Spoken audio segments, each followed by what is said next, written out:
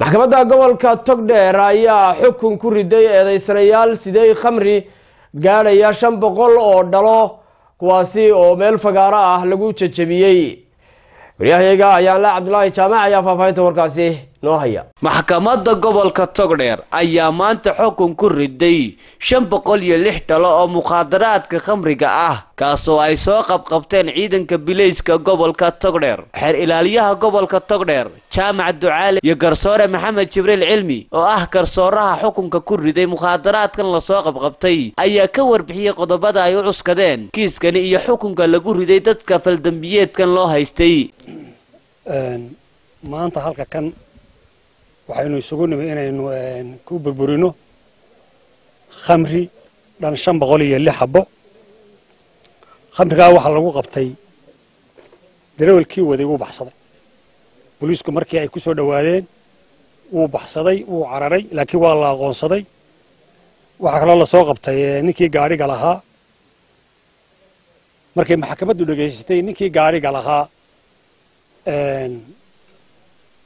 markhaatiyaashii la keenay waxaa caddaatay inuu aanu waxba ka ogeyn u dhibtay inaan ninka daroolka ah aanusi waxba ka ogeyn siday maxkamadda ka caddeeyeen. Way sii daysay.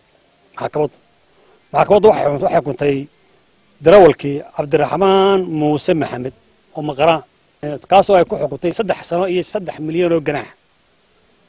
Waxaa loo cuskaday xeerka mukhaadaraadka qodobkiisa afraad baragaraafkiisa koowaad xeer waa xeerka khamriga mukhaadaraadka. Waxaan halkaas ugu nimidnay khamrigaa tiradiisu dhan tahay shan boqol iyo lix litir.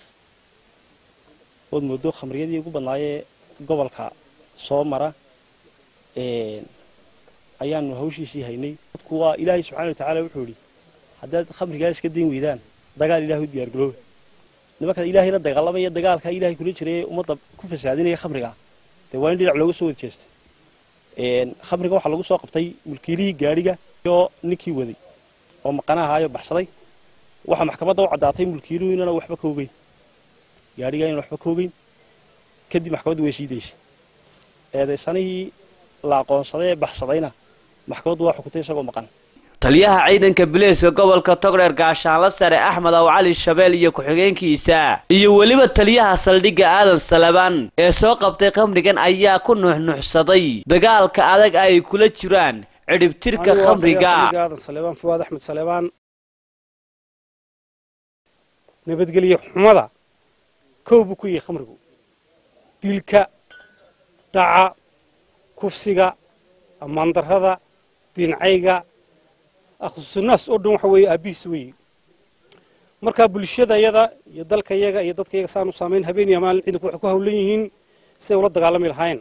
Markaa ninkii darawalka ahaa nasiib xumo uu ka booday wuu cararay wuxuu ogayay inuu ciqaab adag mudanayo. Waa naxariis u olin booliiska agtiisa iyo garsoorka. Dhibaatooyinka ciidanka booliiska ka haysta khamriga waxa ugu badan waa dadweynaha. Baabuurkii markuu halkaa soo marayo soo galo waxaa la nooga soo sheegaa tuulooyinka xadka oo la yidhaha khamrigii baa soo socda. Markaanu ku baxnana bahalkii meel kalu ka wareegaa naga baxsadaa. Waxaa soo noqday ciyaalkii kooxa ahaabaad moodaa inay habeenadan dambe soo noqdeen. Waxaa kaloo aad moodaa inay soo noqdeen. Isla joogta wixii la odhan jiray dadkii dhaqan xumada meelaha u wada taagnaa. Waxaanu u digayn dadkaas ay waalidiintoodu qabsadaan.